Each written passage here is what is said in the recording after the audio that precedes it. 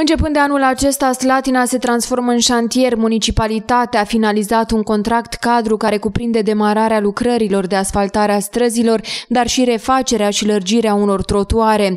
În următorii patru ani, cele trei firme General Trust Arge și firmele slătinene Panadria și Old New Construct, care au câștigat licitația celor trei loturi, se vor ocupa de străzile noastre. Din vara asta, Slatina va deveni un șantier, a durat foarte mult procedura de licitație. De un an de zile am lucrat la această licitație și la acest contract cadru. Nu am avut constructori până acum, în momentul ăsta avem constructori, iar de la vară din luna iulie ne apucăm de treabă. Primele lucrări vor începe în iulie, când vor fi asfaltate 8 străzi. Potrivit edilului Slatinei, nu se vor face doar lucrări de asfaltare, ci se va interveni și la spațiul verde și la trotuare. Pentru luna iulie sunt prevăzute începerea lucrărilor pe strada Nucului, Islazului, cartierul Toamnei, foarte important, cartierul Toamnei, Spicului și Elena Fântâneanu, adică textilistului. Și acolo este o zonă unde sunt foarte multe gropi, trotarele sunt degradate.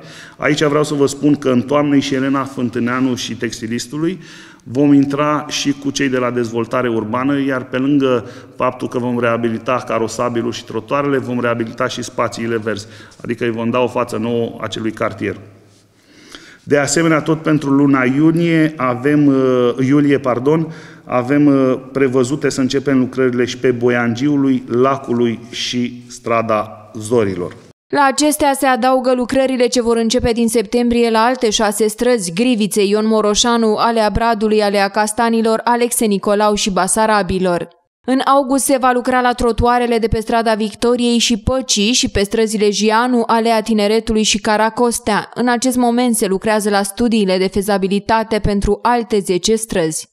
Avem o listă de SF-uri propuse Uh, pentru anul 2019, listă de SF-uri care deja, uh, uh, sau dacă nu deja, cred că luni o să le scoată, dacă nu le-a scos deja în, în licitație, pentru că am anunțat că vom face uh, și asfaltări în zona de jos a orașului și anume fântânilor Zăvoiului, fundătura Oltului, fundătura Zălvoiului și Nicolae Buică, tot ce înseamnă partea de jos a orașului, unde în paralel mergem cu licitația pentru canalizare.